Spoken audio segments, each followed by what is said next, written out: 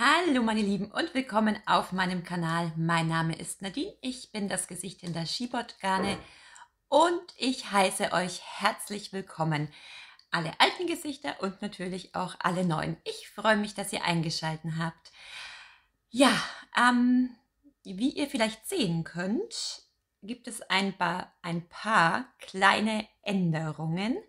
Ich habe mal wieder den Hintergrund geändert, sprich ich habe zum x-ten Mal mein Büro umgestellt.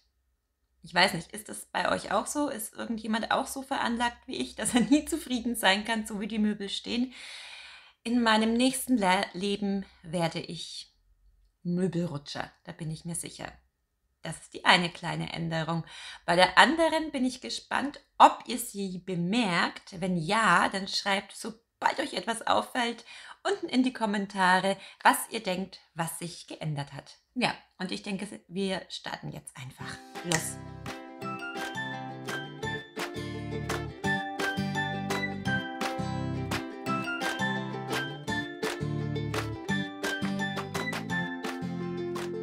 Ah, ja, der neue Hintergrund, der alte Hintergrund Ah, man kann ein bisschen Projekte sehen, ein bisschen Wolle sehen und ich würde sagen, wir starten mit dem ersten Segment und zwar mit den Shop News.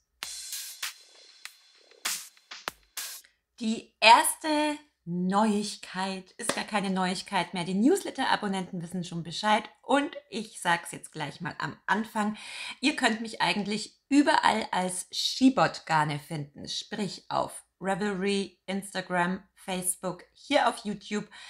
Und wenn ihr den Newsletter abonniert, dazu findet ihr den Link unten in der Infobox, dann verpasst ihr auf keinen Fall irgendetwas, was, es sich, was sich so Neues im Shop tut. Deswegen Newsletter abonnieren und ihr verpasst nichts. Das seid ihr auf jeden Fall mal auf der sicheren Seite. Ansonsten findet ihr die Show Notes zu dieser Episode auf meinem Blog Dort verlinke ich dann alles über, was ich heute so sprechen werde, Anleitungen, Wolle etc. Und ich werde die Direktverlinkung zu den Show Notes hier als Kommentar unter diesem Video festpinnen, damit ihr dort sofort hinfindet. Ja, gut. Shop News Nummer 1, wie gesagt, ist eigentlich keine Neuigkeit mehr. Und zwar ist der My Club online ähm, seit Montag. Das heißt, der, das ist ich habe es schon so oft erklärt. Es ist der Botsox My Club. Dort bekommt man einen 100 Gramm Strang mit einem 20 Gramm passenden Mini-Strang auf der Botsox Base gefärbt, also insgesamt 120 Gramm und die Färbung ist eine Überraschung. Das Produktbild jedoch verrät euch, in welche Richtung es so farbtechnisch geht. Und ich sehe die Stränge da liegen. Ähm, ich sag mal, es ist bunt und knallig. Also wenn ihr noch nicht zugeschlagen habt, dann jetzt. Dann, ich muss spitzen. Gestern online gegangen sind Sock-Sets. Also wer sich nicht überraschen lassen will und vielleicht ein Sock-Set auf meiner Soft Sock Space haben möchte, ich bemühe mich immer wieder, ab sofort bemühe ich mich, weil die Nachfrage so groß ist, ähm, Socksets einzustellen. Und online gegangen sind zwei verschiedene. Und zwar hier einmal ein Old Flame Never Dies zusammen mit dem 20 Gramm Mini ähm, Treasure ist die Färbung. Das ist das eine Set, das online gegangen ist. Und das andere ist Unicorn. Uh, ist das hell. Unicorn zusammen mit Flamingo. Genau. Ja, da, ich muss es nach hinten halten, sonst seht ihr es nicht. Eine sehr zarte Färbung. Genau, also die beiden Socksets gibt es momentan auf der Soft Sock Space. Vielleicht habt ihr ja Interesse an denen. Sommerliche Frühlingsfarben, frühlingshafte Sommerfarben, je nachdem, wie ihr es sehen wollt. Genau. Dann am Sonntag ist Muttertag. Und jedes Jahr entwerfe ich eine spezielle Muttertagsfärbung und ich möchte euch diese natürlich auch nicht vorenthalten. Ich habe mir mal zwei Stränge von dem Stapel gepickt. Und zwar sieht die dieses Jahr so aus. Wie ihr sehen könnt. Oder auch nicht, weil es so hell ist. Muttertag 2022 heißt die Färbung. Sehr kreativ. Ähm, Anzahl der Stränge ist limitiert. Färbung wird es nicht mehr geben. Aber ich finde, die ist wirklich, wirklich toll. Ich halte sie mal ein bisschen weiter nach hinten. Hier seht ihr die Farben, wie sie am wirklichsten sind. Am wirklichsten sind? Deutsche Sprache, schwere Sprache. Heute fehlen mir ein bisschen die Worte. Genau, also die Farbe ist sehr schwierig gewesen zu fotografieren. Ich denke, hier sieht man sie am besten. Muttertag 2022 geht, ich glaube, übermorgen online. Newsletter abonnieren und ihr verpasst es auf keinen Fall. Das ist das, was diese Woche noch passieren wird. Außerdem, nächste Woche wird es regenbogenlastig, weil ich das nämlich schon lange nicht mehr gemacht habe. Ähm, hm, jetzt habe ich es nicht da, weil ich nicht daran gedacht habe. Es gibt von mir die Anleitung Fading Rainbow Socks. Ich verlinke die auf jeden Fall bei mir in den Show Notes. Ähm, dazu verstrickt man ein Miniset. Das habe ich da. Und ähm, einen Regenbogen-Fade. Ich verlinke es auf jeden Fall auf den Show Notes. Das ähm, Miniset kann ich euch zeigen. Und zwar sind es Littles, nenne ich jetzt so. Zwar also die 10 Gramm Stränge nenne ich ja Minis und jetzt habe ich mich dazu entschieden, 20 Gramm Stränge nenne ich Littles. Genau, auf der Soft Sock Space, das ist die Färbung Passion, Fervor, Madagaskar, Lagoon und Waterfall. Und die zusammen ergeben eben einen wunderschönen Regenbogen und die passende Anleitung gibt es bei mir im Shop. Fading Rainbow Socks. Genau, da hat man so 100 Gramm in dem Set. Da gehen einige online. Nächste Woche. Ich muss da aber noch, ich bin noch nicht fertig. Ich wickel die ja per Hand. Das heißt, es dauert noch ein bisschen. Und Oh. Außerdem geht der große Fade online, der ist immer sehr beliebt. Ähm, sind die gleichen Färbungen, nur eben als 100 Gramm Strang, fünfmal. Die gehen auch online, aber die muss ich auch noch nachfärben. Das wird es nächste Woche geben. Also diese Woche noch Muttertag, nächste Woche dann Regenbögen. Und damit sind wir auch schon am Ende der Shop News. Und wir gehen ins nächste Segment und das sind meine Projekte in Arbeit.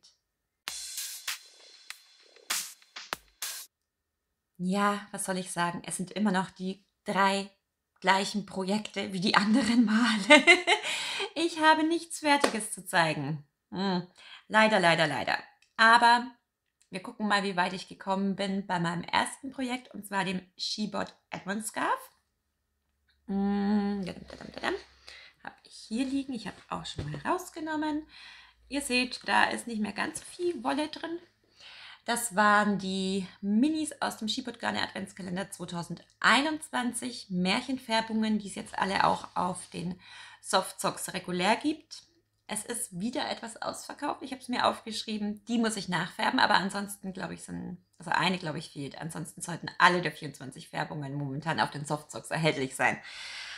Dann, ähm, ja, da waren, das waren ähm, 24 10 Gramm Minis und die verstricke ich zum Shebot Advent Scarf. Eine Anleitung, die ihr bei mir finden könnt. Und ich bin bei Tag Nummer 18. Diesmal müssen wir nicht zählen. Das letzte Mal war ich, ich schau mal, hier ist der Maschenmarkierer. Das ist die Färbung Tischlein Deck dich. Hier haben wir Rotkäppchen, das ist Brüderchen und Schwesterchen. Und ganz frisch angefangen habe ich mit der Färbung äh, Hans und die Bohnenranke. Und er wächst und wächst und wächst und wächst. Ihr seht, das gute Teil wird immer länger. Das heißt, ich bin bei Tag 18, habe ich noch 19, 20, sechs Minis zu verstricken, nachdem ich den hier fertig habe. Und dann ist das gute Stück auch endlich fertig und ich hoffe, dass ich in der nächsten Folge mal was Fertiges wieder präsentieren kann. Also, der Shibot Advent Scarf. Projekt Nummer 1. Uh, Kamera wackelt, tut mir leid, ich muss sanfter mit dem Tisch umgehen. Ähm, dann lasst mich mal einen Schluck Kaffee nehmen. Das ist mein zweiter heute, vielleicht rede ich deswegen ein bisschen schneller als sonst. Okay, mein zweites Projekt ist natürlich der Poncho, meine Poncho-Design-Idee. Da muss ich gestehen, ist nicht wirklich viel vorangegangen. Ähm, ich muss vier Quadrate stricken. Ich bin beim vierten. Das letzte Mal, ich habe mir, habe mir keinen Maschenmarkierer reingehängt. Ich kann euch nicht sagen, wo ich das letzte Mal war, aber ich war, wenn ich mich nicht irre, Moment. Da, da, da, ähm, ich war noch bei den Zunahmen, ungefähr hier würde ich sagen. Und jetzt bin ich bei den Abnahmen. Man sieht es. Hier wird es wieder kleiner. Jetzt sieht man es. Ähm, ja, bin ich nicht wirklich vorangekommen, weil ich an was anderem gestrickt habe, hauptsächlich. Also, ähm, ja, ich hoffe, das vierte Quadrat wird auch bald fertig, denn dann kann ich ähm, die Einzelteile endlich zusammennähen und das gute Stück wird so langsam dann auch mal das, was es werden soll, ein Poncho. Aber, ja, gucken wir mal. Also ich hoffe wirklich, dass ich nächstes Mal was Fertiges zeigen kann. Aber vielleicht ist es nicht der Schal und wahrscheinlich auch nicht der Poncho. Ich glaube, ja, hier hinten seht ihr ihn hängen, mein momentanes Lieblingsprojekt, der Pullover. Ich halte als erstes mal die Anleitung in die Kamera. Und zwar ist das Forestland von Jen Steingas. Hm, gestrickt wird das Ganze ähm, mit einem Decay Gun und ich habe dafür ja eine neue Base getestet und gefärbt, die es ziemlich bald im Shop geben wird. Ich zeige euch mal die zwei Färbungen, die ich verwende. Und zwar, jetzt sieht es aber sehr hell aus. Hier sind wir richtig.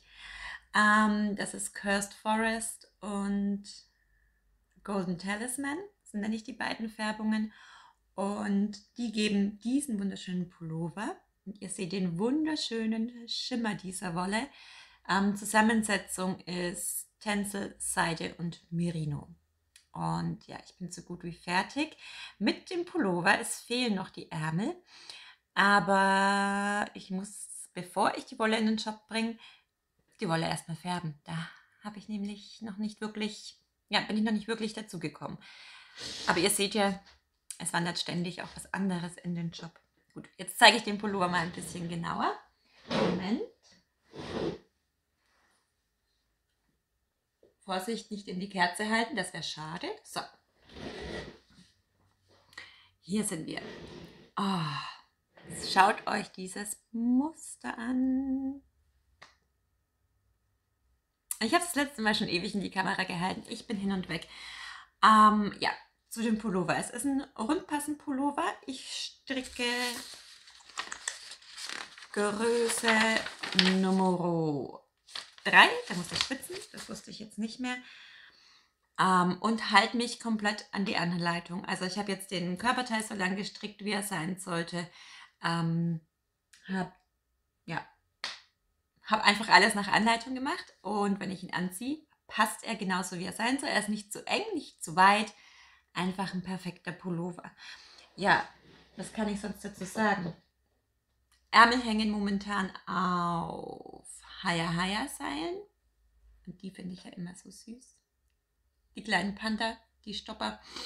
Ähm, ja, und jetzt eigentlich nur noch schnell die Ärmel dran stricken. Das sollte eigentlich relativ schnell gehen. Moment. Upp, hängt er wieder. Ich habe schon öfter gesagt, ich finde Ärmelstricken überhaupt nicht schlimm. Im Gegenteil, es ist eine lange Socke ohne Ferse, die man strickt. Das sollte zack, zack, zack gehen und ich freue mich drauf, ähm, ja, da weitermachen zu können. Ich glaube auch, dass man bei den Ärmeln, ich spitze mal, ähm, ob man irgendwelche Abnahmen machen muss, aber ich glaube, man strickt die gerade runter.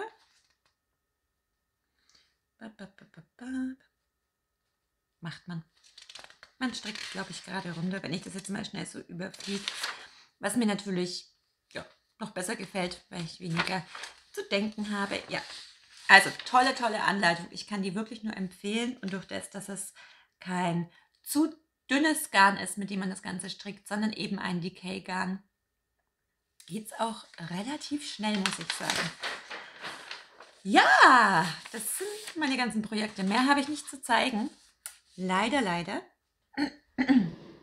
Deswegen müssen wir, das Video wird ein bisschen kürzer. Ähm, ich kann nichts machen. Ich habe nicht mehr zu zeigen. Und ich habe genug Kaffee-Intus, dass ich so schnell rede.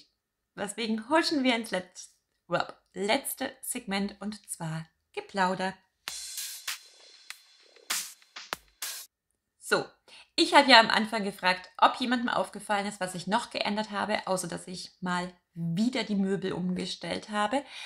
Ähm, ist euch was aufgefallen? Ich hoffe, dass die Audioqualität um einiges besser ist, denn ich habe in ein bisschen YouTube-Equipment investiert und nehme jetzt mit Mikrofon und Licht und Stativ auf, ganz professionell. Ich hoffe, es funktioniert alles so. Das heißt, ich hoffe, ihr könnt mich ein bisschen deutlicher hören, ein bisschen lauter hören. Und ja, ich hoffe, es gefällt euch. Ähm, ja, das war es eigentlich schon. Ist es euch aufgefallen? Habt ihr die Änderung festgestellt? Wenn nicht, wäre es natürlich super schade, dann hätte ich das Ganze komplett umsonst ausgegeben. Hm. Genau. Das ist das Erste, über das ich sprechen möchte. Und das andere ist, ähm, ich halte es nochmal in die Kamera, Muttertag. Es ist mein zweiter Muttertag, den ich erlebe und ich bin gespannt, ob meine Tochter, im Hintergrund mein Ehemann natürlich, sich irgendwas für mich ausgedacht haben. Ob ich überrascht werde oder nicht. Ähm, ja, ich bin gespannt, ob da irgendetwas kommt. Ich weiß, dass meine Kleine, die ist ja bei der Tagesmutter, ähm, und ich weiß, dass die da was gebastelt haben. Aber die Kleine kann es noch nicht verraten, sie kann es mir ja noch nicht erzählen. Das heißt, sie war da, ja. Aber ich weiß, dass sie was gebastelt haben. Das heißt, da bin ich schon sehr gespannt, was mich da erwartet. Ja, das heißt, ich ja, ich freue mich einfach auf das Wochenende und ich denke, ihr freut euch auch, drau auch drauf, egal ob ihr Mütter seid oder nicht.